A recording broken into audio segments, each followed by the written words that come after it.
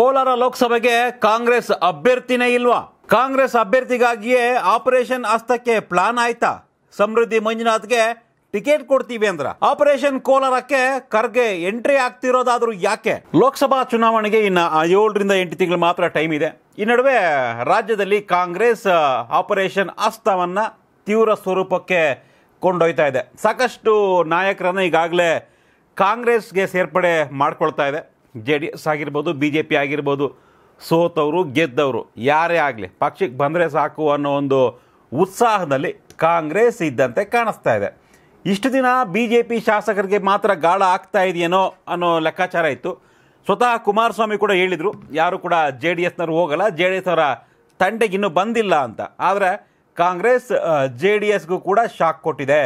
ಈಗಾಗಲೇ ನೋಡಿದರೆ ನೀವು ಮುಳಬಾಗಿಲಿನ ಜೆ ಡಿ ಎಸ್ ಶಾಸಕ ಸಮೃದ್ಧಿ ಮಂಜುನಾಥ್ ಅವರಿಗೆ ಏನು ಪಕ್ಷಕ್ಕೆ ಆಹ್ವಾನವನ್ನ ಕೊಟ್ಟಿತ್ತಂತೆ. ಚಿನ್ನದ ಬಗ್ಗೆ ಯಾವುದೇ ಮಾಹಿತಿ ಇರಲಿ. ಅದು ಕೊಂಡ್ಕೊಳ್ಳೋದಾಗ್ಲಿ ಮಾರೋದಾಗ್ಲಿ ಅಥವಾ ಅಡ ಇಟ್ಟಿರೋ ಚಿನ್ನನ ಬಿಡಿಸ್ಕೊಳ್ಳೋದಾಗ್ಲಿ. ಹಿಂದೆ ಶ್ರೀ ಸ್ಟಾರ್ ಗೋಲ್ಡ್ ಕಂಪನಿಗೆ ಬನ್ನಿ. ಶ್ರೀ ಸ್ಟಾರ್.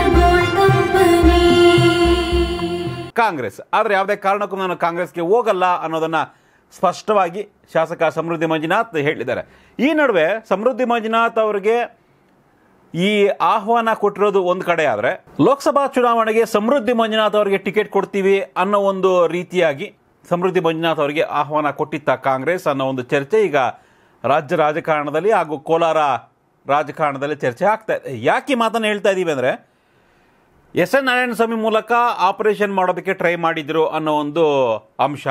ಸ್ವತಃ ಖರ್ಗೆ ಕೂಡ ಈ ಒಂದು ಆಪರೇಷನ್ ಕೋಲಾರ ಅಥವಾ ಆಪರೇಷನ್ ಕಾಂಗ್ರೆಸ್ ಅಥವಾ ಆಪರೇಷನ್ ಸಮೃದ್ಧಿ ಮಂಜುನಾಥ್ ವಿಚಾರದಲ್ಲಿ ಖರ್ಗೆ ಕೂಡ ಮುತುವರ್ಜಿಯನ್ನು ವಹಿಸಿದ್ರು ಅನ್ನೋ ಒಂದು ವಿಚಾರಗಳು ಬರ್ತಾ ಇದ್ದಾವೆ ಯಾಕೆ ಖರ್ಗೆಗೂ ಕೋಲಾರಕ್ಕೆ ಏನಪ್ಪ ಸಂಬಂಧ? ಸಹಜವಾಗಿ ಕರ್ನಾಟಕ ಅಂದಮೇಲೆ ಕರ್ನಾಟಕದ ರಾಜಕಾರಣದಲ್ಲಿ ಡಿ ಕೆ ಶಿವಕುಮಾರ್ ಆಪರೇಷನ್ ಕಾಂಗ್ರೆಸ್ನ ಉಸ್ತುವಾರಿ ರೀತಿ ವಹಿಸ್ಕೊಂಡಿದ್ದಾರೆ. ಕೆ ಪಿ ಸಿ ಸಿ ಅಧ್ಯಕ್ಷರು ಹೌದು. ಹೀಗಾಗಿ ಸಹಜವಾಗಿಯೇ ಎಲ್ಲ ಆಪರೇಷನ್ಸ್ ಡಿ ಕೆ ಶಿವಕುಮಾರ್ ಅವರ ಗಮನಕ್ಕೆ ಬಂದು ಆಗ್ತಾ ಇದ್ದಾವೆ ಸೊ ಜೆ ಡಿ ಎಸ್ನ ಶಾಸಕರು ಅವ್ರನ್ನ ಆಪರೇಷನ್ ಮಾಡಬೇಕು ಅಂದರೆ ದೊಡ್ಡ ಮಟ್ಟದಲ್ಲಿ ಚರ್ಚೆ ಆಗಿರಬೇಕು. ಒಬ್ಬ ಎಂ ಎಲ್ ಎನ ಆಪರೇಷನ್ ಮಾಡಬೇಕು, ಪಕ್ಷಕ್ಕೆ ಆಹ್ವಾನವನ್ನು ಕೊಡಬೇಕು, ಅವ್ರನ್ನ ಸೇರಿಸ್ಕೊಳ್ಬೇಕು ಅಂದರೆ. ಸೊ ಕೋಲಾರ ವಿಚಾರಕ್ಕೆ ಬಂದಾಗ, ಕೋಲಾರ ಲೋಕಸಭಾ ಚುನಾವಣೆಗೆ ಕಾಂಗ್ರೆಸ್ನ ಅಭ್ಯರ್ಥಿಗಳು ಯಾರು ಇಲ್ವಾ ಅನ್ನೋ ಒಂದು ಚರ್ಚೆ ಆಗ್ತಾ ಇದೆ. ಕೆ ಎಚ್ ಮುನಿಯಪ್ಪ ಅವರು ದೇವನಹಳ್ಳಿ ವಿಧಾನಸಭಾ ಕ್ಷೇತ್ರಕ್ಕೆ ಸ್ಪರ್ಧೆ ಮಾಡಿ ಗೆದ್ದು ಮಂತ್ರಿ ಆಗಿದ್ದಾರೆ. ಎರಡೂವರೆ ವರ್ಷ ಆದಮೇಲೆ ಮಂತ್ರಿ ಸ್ಥಾನ ಬಿಟ್ಕೊಡ್ಬೇಕು ಅಂತ ಶುರು ಮಾಡಿದ್ದು ಕೆ ಎಚ್ ಮುನಿಯಪ್ಪ ಅವರು. ಆ ಒಂದು ಮಾತನ್ನ ಕೇಳಿಸ್ಕೊಂಡಾಗ ಬಹುಶಃ ಕೆ ಎಚ್ ಮುನಿಯಪ್ಪ ಅವರು ಕೋಲಾರಕ್ಕೆ ಮತ್ತೆ ಲೋಕಸಭಾ ಚುನಾವಣೆಗೆ ಸ್ಪರ್ಧೆ ಮಾಡಬಹುದು. ಹೀಗಾಗಿನೇ ಈ ಥರ ಹೇಳಿಕೆಯನ್ನು ಕೊಟ್ಟಿದ್ದಾರೆ ಬಿಡಿ ಅಂತ ಒಂದು ಚರ್ಚೆ ಆಗಿತ್ತು. ಆದರೆ ಹೇಗೂ ಸಚಿವರಾಗಿದ್ದೀವಿ ಲೋಕಸಭಾ ಚುನಾವಣೆಗೆ ಮತ್ತೆ ಯಾಕೆ ಹೋಗಬೇಕು ಅನ್ನೋ ಒಂದು ನಿಟ್ಟಿನಲ್ಲಿ ಕೆ ಎಚ್ ಮುನಿಯಪ್ಪ ಕೂಡ ಕೋಲಾರ ಲೋಕಸಭಾ ಚುನಾವಣೆಗೆ ಸ್ಪರ್ಧೆ ಮಾಡಬೇಕು, ಈ ಹಿಂದೇಟನ್ನು ಆಗ್ತಾ ಇರಬಹುದು ಅನ್ನೋ ಒಂದು ಚರ್ಚೆ ಕೂಡ ಆಗ್ತಾ ಇದೆ. ಕಳೆದ ಕೆಲವು ದಿನಗಳ ಹಿಂದೆ ಚರ್ಚೆ ಆಗ್ತಾ ಇತ್ತು. ಕಲಬುರಗಿಯನ್ನು ಬಿಟ್ಟು ಕೋಲಾರಕ್ಕೆ ಬರ್ತಾರಂತೆ ಮಲ್ಲಿಕಾರ್ಜುನ್ ಖರ್ಗೆ. ಕೋಲಾರದಿಂದ ಈ ಬಾರಿ ಸ್ಪರ್ಧೆ ಮಾಡಬಹುದು ಮಲ್ಲಿಕಾರ್ಜುನ್ ಖರ್ಗೆ ಅನ್ನೋ ಒಂದು ಚರ್ಚೆ, ಲೆಕ್ಕಾಚಾರ ಕೂಡ ಇತ್ತು.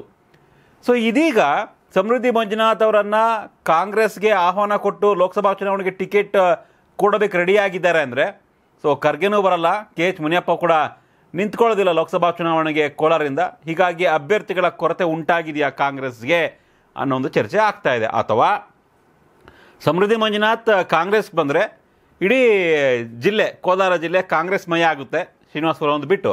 ಆಗ ಲೋಕಸಭಾ ಚುನಾವಣೆಗೆ ಮತ್ತೆ ಗೆಲ್ಲಬಹುದು ಸುಲಭವಾಗಿ ಕಾಂಗ್ರೆಸ್, ಆ ನಿಟ್ಟಿನಲ್ಲಿ ಯೋಚನೆ ಮಾಡ್ತಾ ಇದೆಯಾ?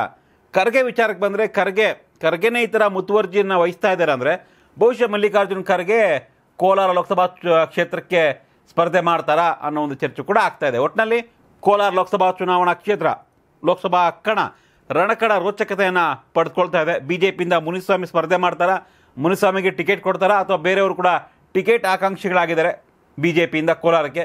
ಸಾಕಷ್ಟು ಬಿ ಜೆ ಪಿ ನಾಯಕರು ಟ್ರೈ ಮಾಡ್ತಿದ್ದಾರೆ. ನಮಗೆ ಟಿಕೆಟ್ ಕೊಡಿ ಅಂತ, ನೋಡಬೇಕು ಏನಾಗುತ್ತೆ ಅಂತ. ಮುನಿಸ್ವಾಮಿಯವರು ಸ್ಪರ್ಧೆ ಮಾಡ್ತಾರಾ ಬಿ ಜೆ ಪಿಯಿಂದ ಅಥವಾ ಬೇರೆ ಯಾರಿಗಾದ್ರೂ ಚಾನ್ಸ್ ಸಿಗುತ್ತಾ ಅಂತ. ಈ ನಡುವೆ ಕಾಂಗ್ರೆಸ್ನಲ್ಲೂ ಕೂಡ ಫೈಟು, ಯಾರು ನಿಂತ್ಕೊಬೇಕು ಅಂತ ಅಥವಾ ಅಭ್ಯರ್ಥಿನೇ ಸಿಗ್ತಾ ಇಲ್ವಾ ಅನ್ನೋ ಒಂದು ಚರ್ಚೆ ಆಗ್ತಾ ಇದೆ. ಈ ಒಂದು ಎಲ್ಲ ಡೆವಲಪ್ಮೆಂಟ್ಸ್ ನೋಡ್ತಾ ಇದ್ರೆ. ಇನ್ನು ಜೆ ಡಿ ಎಸ್ ಕಥೆಯನ್ನು ಕೋಲಾರದಲ್ಲಿ, ಕೋಲಾರ ಲೋಕಸಭಾ ಕ್ಷೇತ್ರದಲ್ಲಿ ಎಂಟು ವಿಧಾನಸಭಾ ಕ್ಷೇತ್ರಗಳ ಪೈಕಿ ಮೂರು ಜೆ ಡಿ ಎಸ್ ಗೆದ್ದಿದೆ. ಅದು ಶಿಡ್ಲಘಟ್ಟ, ಶ್ರೀನಿವಾಸಪುರ ಮತ್ತು ಮುಳುಬಾಗಲು.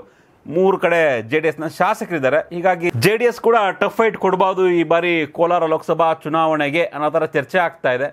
ಒಮ್ಮೆ ಒಂದು ವೇಳೆ ಜೆ ಡಿ ಎಸ್ ಮತ್ತು ಬಿ ಜೆ ಪಿ ಮೈತ್ರಿ ಆದರೆ ಯಾರಿಗೆ ಸ್ಥಾನ ಕೊಡ್ಬೋದು, ಅಂದರೆ ಟಿಕೆಟ್ ಕೊಡಬಹುದು ಅನ್ನೋ ಒಂದು ಚರ್ಚೆ ಕೂಡ ಇದೆ. ಒಟ್ಟಿನಲ್ಲಿ ಕಾಂಗ್ರೆಸ್ ಗೊಂದಲದಲ್ಲಿದೆಯಾ ಕೋಲಾರ ಲೋಕಸಭಾ ಚುನಾವಣಾ ಟಿಕೆಟ್ ವಿಚಾರವಾಗಿ? ಕೆ ಎಚ್ ಮುನಿಯಪ್ಪನ, ಖರ್ಗೆನ, ಅಥವಾ ಬೇರೆ ಯಾರಿಗಾದ್ರೂ ಬೇರೆ ಟಿಕೆಟ್ ಕೊಡಬೇಕಾ?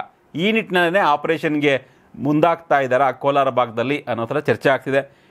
ನೀವೇನು ಹೇಳ್ತೀರಾ? ಕೋಲಾರ ಲೋಕಸಭಾ ಚುನಾವಣೆಗೆ ಯಾರು ಕಾಂಗ್ರೆಸ್ ಅಭ್ಯರ್ಥಿ ಆಗಬೇಕು? ಯಾರು ಆಗಬಹುದು ಕೆ ಎಚ್ ಮುನಿಯಪ್ಪ ಅಥವಾ ಖರ್ಗೆ? ಇವರಿಬ್ಬರನ್ನ ಬಿಟ್ಟು ಬೇರೆ ಯಾರಾದರೂ ಇದ್ದಾರಾ ಕಮೆಂಟ್ ಮಾಡಿ ತಿಳಿಸಿ ಧನ್ಯವಾದಗಳು. ಕರ್ನಾಟಕ ಟಿವಿ ಇದು ಕನ್ನಡಿಗರ ಧ್ವನಿ.